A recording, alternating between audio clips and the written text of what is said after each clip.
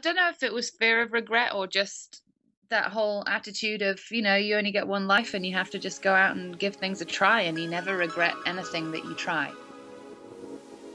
Welcome to the Female Entrepreneur Musician Podcast with Bree Noble. Bree is a musician, entrepreneur, speaker, and founder of Women of Substance Music Radio and Podcast. Bree's interviews with successful female musicians and industry pros are both inspirational and informational. She also answers your questions about the music business. Bree is on a mission to help you create great music, connect with your fans, and grow your business, and to truly become a female entrepreneur musician. Hey, this is Bree Noble. Thanks for tuning in to the Female Entrepreneur Musician Show, where we help you learn to make great music, how to connect with your audience, and how to grow your business. I feel like I need to be practicing my English accent today because I'm talking to Callaghan, and she has such a wonderful accent, and I just can't quite do it, so I won't even try.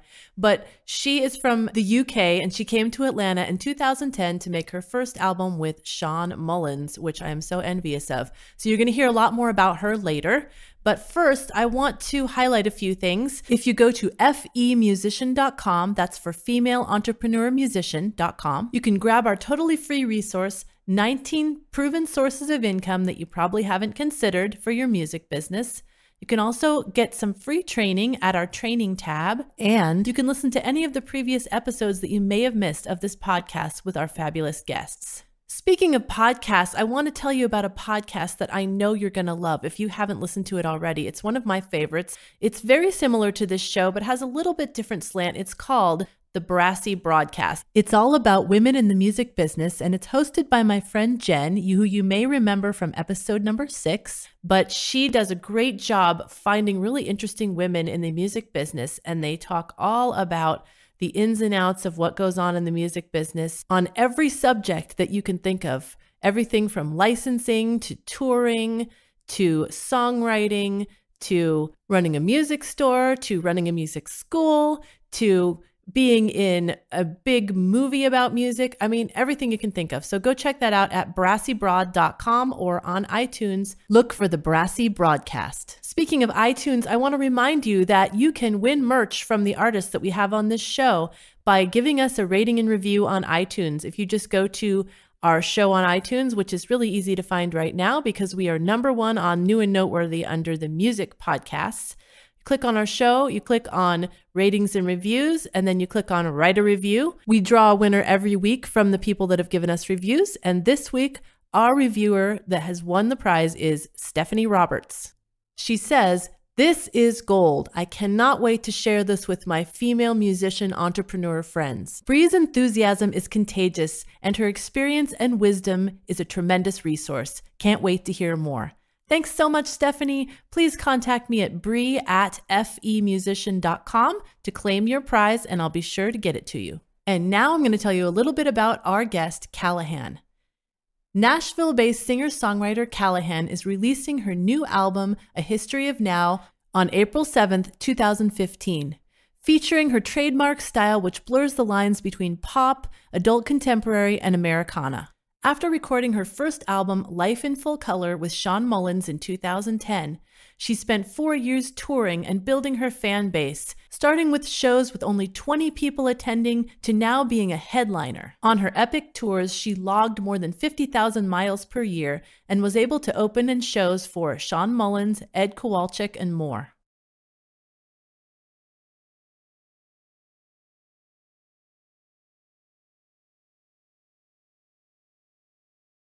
So that's a little bit about Callaghan.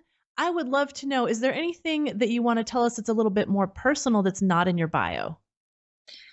Uh, well, I'm from from the UK and I've um I've been over here for about 5 years now. It's coming up to 5 years. I moved here in 2010 and um yeah, I've just been having a great time really getting to know the uh, American audience and uh, getting to tour over here um, I've been to 46 states so far, so I'm definitely getting to see a lot of the country. And um, wow, so which ones have you not been to?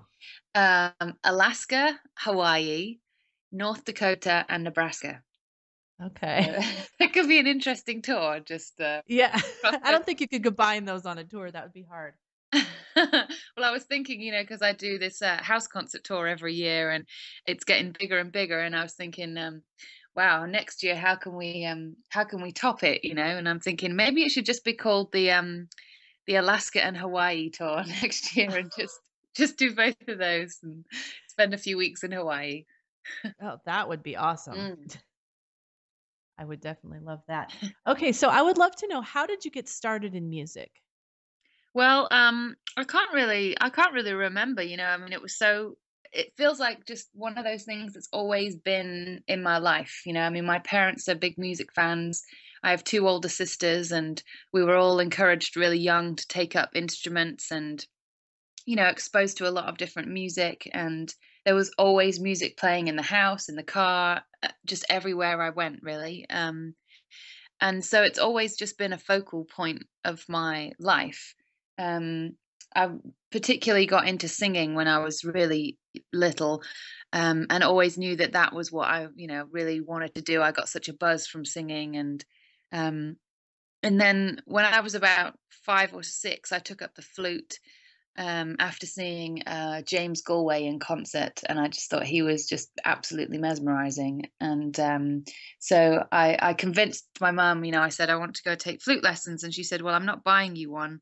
Until you've proved that you really want to do that. So, um, so she found this old bamboo flute, like in the back of a cupboard somewhere, and said, "Right, if you if you learn on that and you you know stick with it, then I'll buy you one." So um, I did that for about I guess an eight or nine years, and um, did all the classical training and everything, and then the uh, you know the singing really was taking over, and I wanted to be able to perform and and I started songwriting um, when I was 15.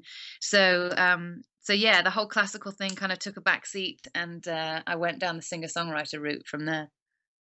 Mm. Did you ever do classical singing or just classical flute? Mm, no, never did classical singing. Um, it was always, you know, because I wanted to do songwriting. It was always um, you know the the style of music of whatever I was listening to. I then went through phases of writing, um, but it never. I mean, although I love classical singing, you know, I'm a huge Andrea Bocelli fan, and you know, I love listening to that and voices that are so pure and um, you know very technically, you know, amazing.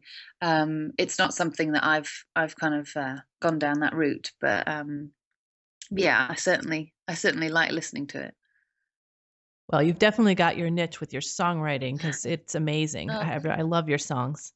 Thank you. Um, I wanted to ask you: Are you do you consider yourself right now a full time musician? And if so, how long have you been full time, like basically not getting income from anything but music? Yeah, I'm. I would consider myself full time plus a bit.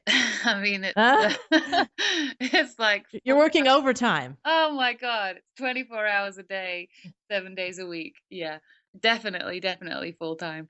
It's um, I guess since since I left the UK, it's um, it's been like that. I mean, I was doing music before moving to America, but it was in addition to other things as well. Um, then when I recorded my first album here in 2010 with Shawn Mullins, um, that's when I really took the leap of kind of moving into I'm going to give this a go completely you know focus all my energies on it and um, see what happens. And um, yeah it's been pretty nonstop since then. So yeah i mean I'm, i know i'm incredibly lucky to be able to do music full time and earn a living from it and um, you know see that everything keeps growing every year as well. So that's uh, really rewarding. You took a big risk moving from england to come here. What what prompted that? And was was there maybe a something in the back of your mind that said, you know, you're going to have regrets if you don't just like take a huge risk and go for it?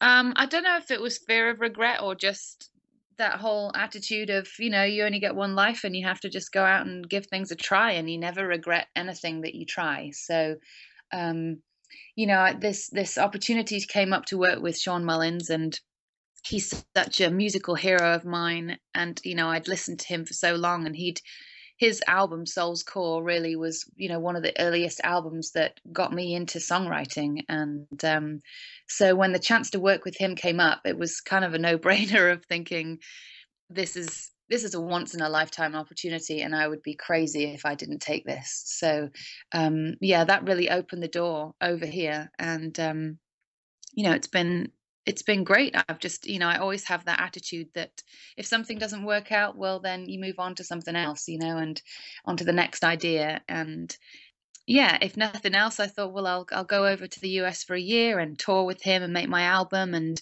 if nothing else came from it, it would be an amazing story. But um, you know, luckily I've worked really hard at it and um, you know, continue to grow everything to the point now where I'm doing my own headline shows. So it's um yeah, it's definitely paying off. And how did you get that opportunity with Shawn Mullins and what was it like working with him? Oh, it was fantastic working with him. You know, um, a lot of people had said to me, "Oh, it's just difficult meeting your, you know, Mm, I don't want to use the word idol, but you know, people that you look up to that much, it's difficult meeting them because sometimes they can be a huge disappointment. And uh, Shawn was not at all. He was the total opposite of that. He was as lovely as I could have ever hoped for, you know, um, a really genuine guy.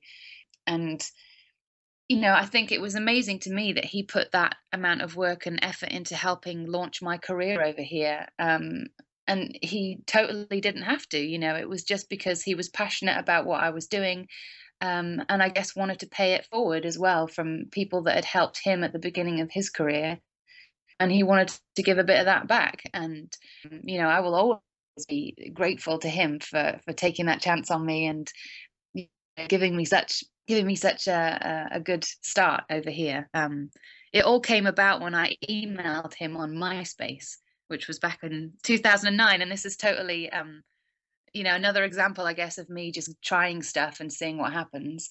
Um, i had wanted to get in touch with him for a while um, and the only way i could figure to you know send him a message was through myspace and so i did that and sent him a couple of songs and um, he amazingly saw the message and listened to the songs and loved what i did and invited me over to atlanta so one of those you never know kind of moments.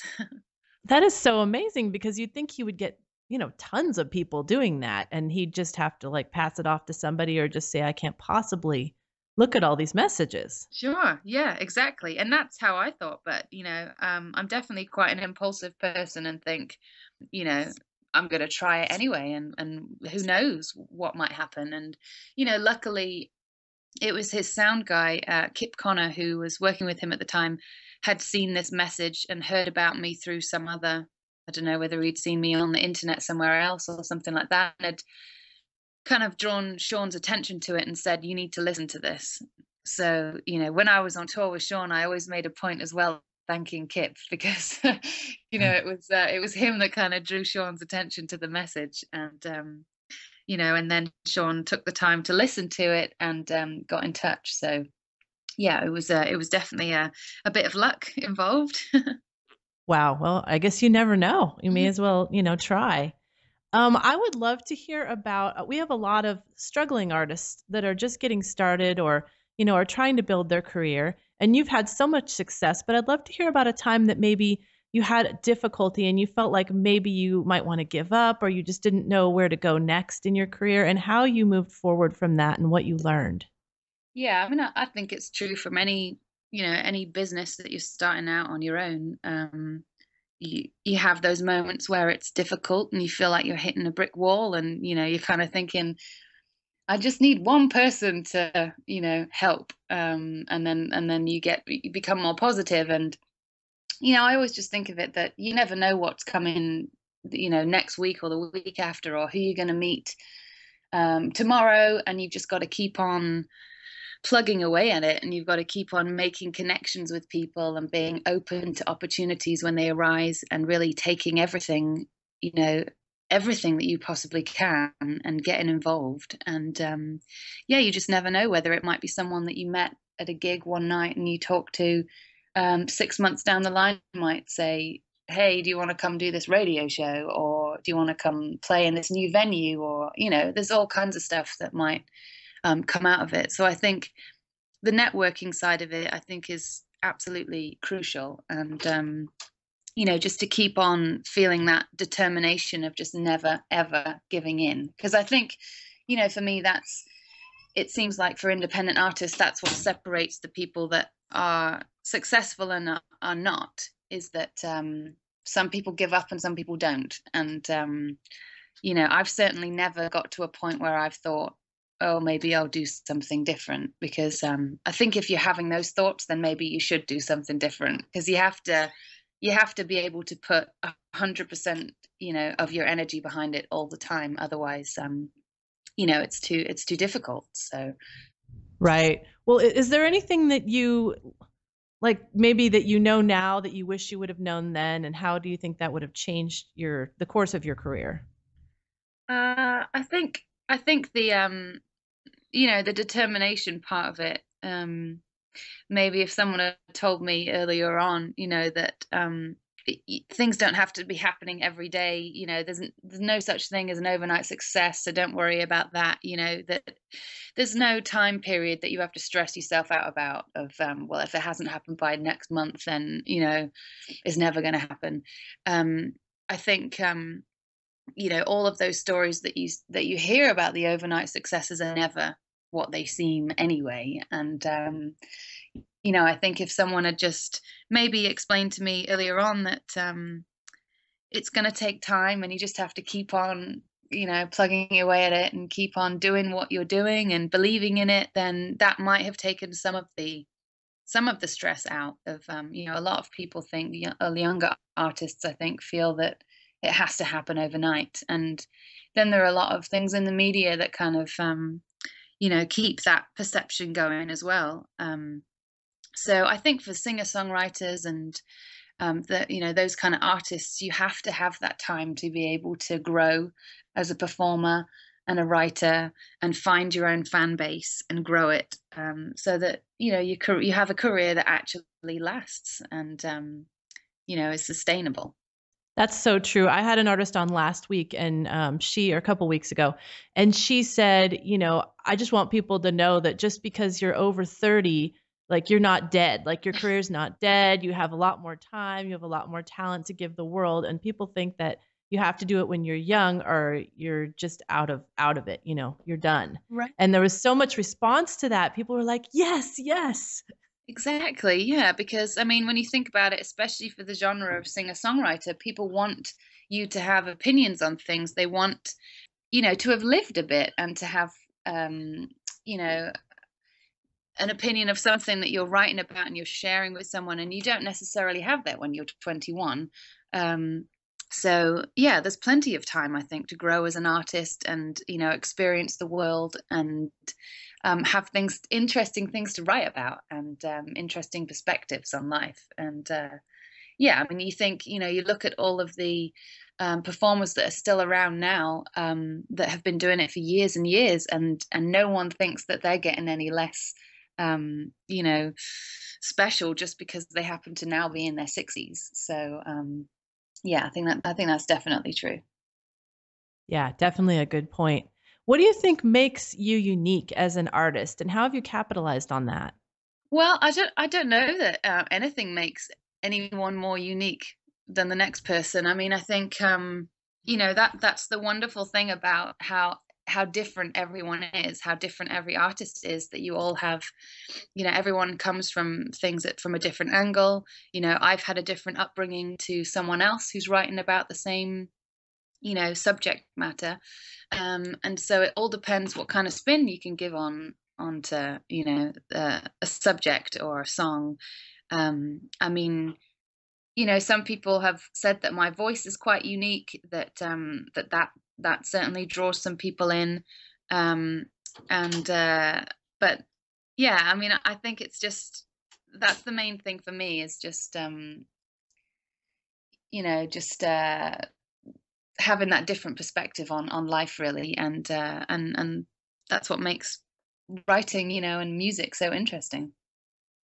Well i think you're definitely known for having close relationships with your fans. I've heard that from a lot of people and i just would love to know how you develop those relationships and how you maintain them and you know what what tools have maybe helped you keep in touch with your fans well i always try and take time after a show to go and speak to the people that have come out to the show. You know, I sign CDs and chat to them, and um, really until you know until everyone's gone i always try and make make sure that everyone's had some time to say hello and um, you know i've thanked them for coming and i and i never take it for granted that people are going to come out to the shows. Um, you know i want to really take care of my fans and um, in return you know they do things like um, you know pledge support on my on my previous well this newest album um, I did through Pledge Music, and we reached 170% of the goal that we'd set, and uh, had about 350 people involved. And so, you know, on the other side of it, they then step up and um, help with things like that. So it's um, it's a real two-way street, you know, of um, a real reciprocal relationship with them. Wow, that's amazing. 170%. Yeah. I I really, you know, focus with this on people that I am coaching is you got to build your fan base up because then when you do want to come out with a new album, you've got something to draw on. You can't just expect that people that don't know you are going to, you know, give you money in a pledge campaign. Right. Yeah, and I think these days as well with things like Twitter and Facebook and you know your website and Instagram and there's so many places where people can directly connect with the musician and you know the artist can connect with the fans and and they kind of you know a lot of people expect that now and um you know if you if you shut yourself at, off from that then you're really missing out i think because um you know there is there is a real potential to to go out there as an independent artist and find your fan base and have them um, you know kind of evangelize about your music to everyone and and help build it. And you don't necessarily then have to rely on a label um, you know waving a magic wand. Um, you can get out there and and find your own audience and um, connect with them directly and that's something i think that musicians in this day and age have um, you know which is phenomenal compared to how things were maybe 15 or 20 years ago Wow, I think I need to make you my spokesperson. That's exactly what I tell people. You do not necessarily need a label nowadays. You can right. do so much on your own and then you can keep all the money for yourself, you know?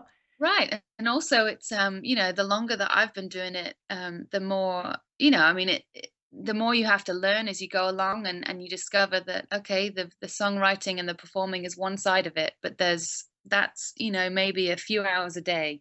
And um, the rest of it there's a lot that goes into you know making sure that you that you answer people's emails and um, you know reply to their messages and comments on facebook and you know collect their email addresses at shows and follow up with that and keep people you know up to date with what you're doing and really kind of create you know put some time into that relationship and um yeah definitely pays off this is great stuff. So, what is the maybe the most mind blowing experience that you've had where you felt like, oh my gosh, pinch me, I can't believe I'm here doing this? well, there was um, I got an article in Billboard magazine um, last year for my house show tour, which was absolutely amazing. It was like a four page spread in Billboard magazine, which was, um, you know, a real kind of moment of thinking, wow, I must be doing something right because, you know, Billboard is such a legendary magazine to have recognized my tour. Um, and off the back of that, then um, there was someone up in the in the northwest who was starting a, a concert series at a casino up there and um, a singer songwriter series. And he'd read the article in the Billboard, um, you know, magazine, and had booked me to go play there. And I got to take my whole band up there, and you know, the radio station got behind it and um, played a song from my album a lot. And we ended up with 1,200 people in the room, and um, a really amazing venue and you know i had my whole band with me and it was just a fantastic show. And that was definitely a moment where i thought all right this feels pretty amazing that um you know there's 1200 people that have come out to see us. And um yeah and there was billboards huge big billboards all over portland um you know with the with the album artwork on and uh yeah that felt really exciting that is so cool. I have to say that the article said that you reshape. Sorry, there's a ton of thunder going on here. I think my house is going to fall down. the, the the article said that you reshaped the landscape of touring. I mean, I, like it was they was really complimentary of you. What do you think that our artists that are listening can learn from the way that you do your tours? Um, I think just the I think you know Billboard were really focusing in on how how much I've got into the house show touring, and um, I do that in addition to my regular touring, and it's kind of become a bit of a template now for for building, you know, your audience because this country is so enormous and it takes so long to build um, an audience in one um, market. So I kind of get around that by going to do a house show or a couple of house shows in an area, um, grow enough fans in that market, and then go back and do a public show. And then all those people will come out and tell their friends about it, and it kind of grows from there.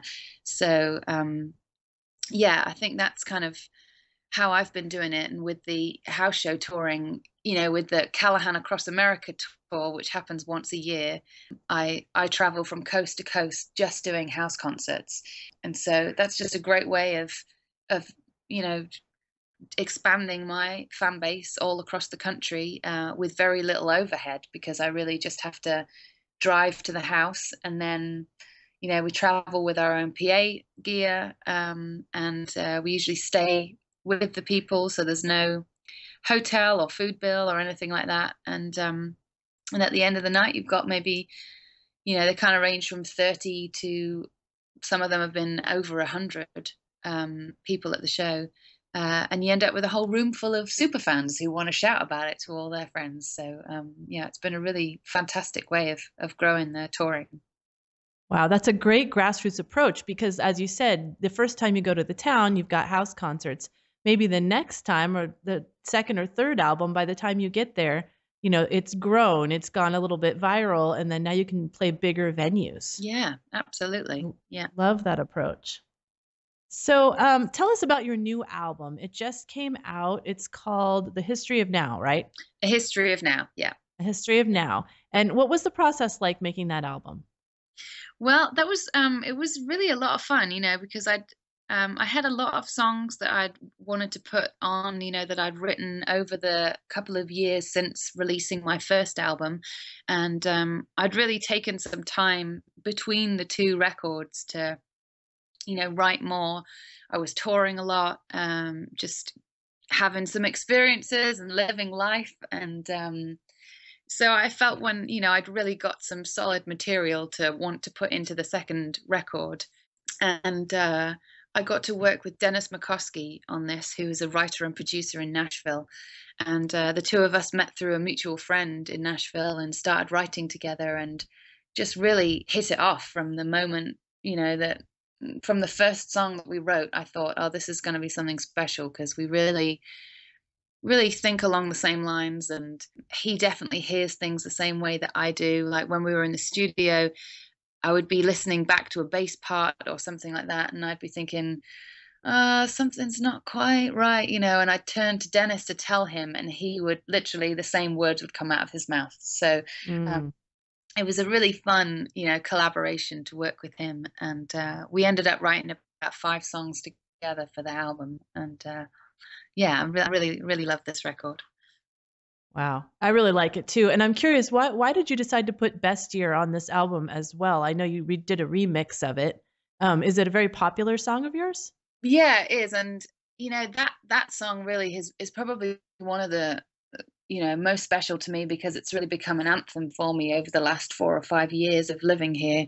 Um, and it really to me it just seemed to capture that feeling of you know, I wrote it just a couple of months after leaving the UK and you know it's still it still kind of resonates with me and with a lot of people that I, you know I play it to at shows that just that feeling of of not being scared to try things just just giving it a go getting out there and, and experiencing life and and seeing what happens. And um you know every single year has kind of topped the last one so far. And uh, so i thought well i want to just you know I'm, I'm not kind of ready to give up on this song yet. And uh, you know dennis really wanted to re-record it and we got um, you know it's it's quite different from the first album and so it's kind of been given a new a new take. And um, yeah, it still just means a lot to me that song. So, and I get a lot of people coming up to me at the end of shows and saying that's kind of become their theme song as well. So, um, yeah, I feel like it, it spreads some positivity. Yeah, I, I love having one of those inspirational kind of songs in your set because people really identify with that. People are kind of craving that positivity, I think. Yeah, definitely. And you know, when they come out to hear live music, people want to have some escape, um, I think, and um, they want to be uplifted and feel positive about life. And you know, there's a lot of songs on the new album that that kind of touch on that of the, you know, like "Crazy Beautiful Life" um, is the is the single over here, and you know that's really about the the craziness and unpredictability of life, and equally how amazing it can be, you know, and um, that you've just got to kind of take it all as it comes and and soak it all in and think you know uh, life is for for living I would love to hear about your um, income streams. We have artists listening that are trying to build their career, and I know that a lot of musicians have a lot of different income streams that kind of make up this combination that is their, you know, living. Can you give us an idea of where you get most of your income from? I'm sure a lot of it's from shows, but you know, you're a songwriter, so you probably bring in stuff from licensing. And yeah, if you could just give us a little kind of a picture of that. Yeah, mo- most of it does come from live shows. That's definitely the biggest uh, income stream. Um, also, selling CDs, most of them are from live shows. You know, I still feel like even though a lot of people download music these days, they still, so many people still want to have the physical CD in their hand at the end of a show that they can come get signed. And, uh, you know, kind of have as a bit of a memento of the show, I think. So, um, yeah, that's definitely a huge, huge part of it. Shows and merchandise at shows, and uh, yeah, the licensing thing I've not, I've not got too far into yet, but that's definitely something I'm focusing on with the new record. Um, so uh, yeah, definitely, um, that would be amazing. So. Oh, do you have a book recommendation um, or maybe an online resource that you like for information either about um, how to build your business, how to write music, or just how, you know, something that helps you with personal development? Um, I mean, I do, I read things online now and again, and, um, you know, I've read some industry books and that kind of thing. The thing I find frustrating quite often is that um, it's all a bit too abstract and um, you know people can have ideas but but don't really give you practical advice about how to you know put them into into practice. And um, you know one i read recently had said that you should really focus on a very small um, fan base and not worry about trying to get your music out to the whole world but just really narrow it down and you know find out what your market is and really you know zone in on that audience. And that that was kind of an example of uh, how someone can give out advice but not really go any further and you think um, you know as the artist you're kind of hearing that thinking well that's that's great in theory but really in practice how do i do this? Um, and so i found you know that a lot of the times just getting out there and um, getting stuck in has been the best kind of um, learning experience that i could get. And um, you know, I speak to other people like other artists that have been in the business longer, like Shawn Mullins, and ask for his advice on, um, you know, certain specifics of the industry. Or, um, you know, I would read technical books about publishing and things like that, where you really just feel like it's a whole other language that's spoken, you know, and you have to try and wade your way through all of that. Um, but in terms of building fans, I think you just have to get out there and really trust your instinct on who you think your fans are, and um, and go and connect with them directly. And um, you know, I think you could probably read all the books in the world, but it wouldn't. It's not going to actually move the needle any further unless you get out there and start working. You know, so um, yeah, that's kind of been my approach. Well, I like what you said about mentors because to me that's important. People that are farther ahead than you are in their career yeah. You know, you don't have to make all the mistakes. You can just kind of ask them for advice and they can tell you, oh, I did this, it didn't work. I did this, it works awesome. You know? Yeah. Yeah. And of course, every single artist is different. So something that worked for someone else is not necessarily going to work for you. But, um, you know, I always think you've got to trust yourself and your um, your own instinct on your own music and your own career and you know take advice but don't just follow it blindly you know really um, kind of have a have a say of what you want your career to do because um, no one is going to no one is going to push it as much or be as invested in it as the artist themselves you know. So you really have to take um, ownership of that i think Really great advice. So I can't believe we're already almost over with this interview. It goes so quickly every time. But um, I would love for you to tell our listeners how they can get in touch with you, where they can find you on social media and your website, how they can get your new album. Yeah. So my uh, my website is callaghansongs.com. And uh, can you spell that? Well, yeah. it'll be in the show notes, but you know, people yeah. are listening while they're driving or something. Yeah, it's C A L L a G H A N songs.com. Yeah, Callaghan has a G in the middle, so it's uh, that's what tricks people. But um, is that an English thing? I the uh, G. It's an Irish name. So oh, okay. Yeah, but um, yeah, so that's my main website. That's where the album. Uh, you can get all of the albums on there. Um, and then on Facebook, I'm at Callaghan Music on Facebook, and that's the same for Twitter as well. So I'm on I'm on both of those. Are you on Instagram also? Yes, Callaghan Music on Instagram as well. Oh, great. Okay. Well, I'm gonna go find you because oh, I'm Bree Noble Music on on Instagram. So I'm just get, kind of getting started with Instagram. Oh yeah, it's addictive. All of these things it, are so. They are. They are. You yeah. have to remind yourself, I'm working. I'm working. yeah. Suddenly, four hours have gone by. Right well, thanks so much for talking with me. And um, I'm glad we finally got this interview done. We've been trying to get together for probably six weeks, but you know, you've got such a crazy touring schedule. And I'm glad we found a time when you were going to be in Atlanta that we could talk. Yeah, yeah, no, thanks for having me. And there's um I forgot to say as well there's um there's a free EP that people can download from my website if they want to get a, a little taster of the music. So there's um five or six tracks on there. And which track are those from your first album, or are they previous to it's that? From, it's from the first album and my live album, so it gives. Oh my gosh, you guys got to go get that. Her first album is amazing, also. So, I, I think we played on Women of Substance Radio. We probably played like six or seven songs from your first album, and probably six or seven songs from the new one because they're just also good. Oh, well, thank you. I really appreciate you supporting it. It's really, really means a lot. You are welcome. Well, thanks a lot, and um, go have some more great shows, and we will talk to you again soon. Thank you. Now go out and make great music, connect with your fans, and grow your business. Female Entrepreneur Musician has been brought to you by femusician.com and femalemusicianacademy.com. With editing by Bree Noble and music by Stella Ronson.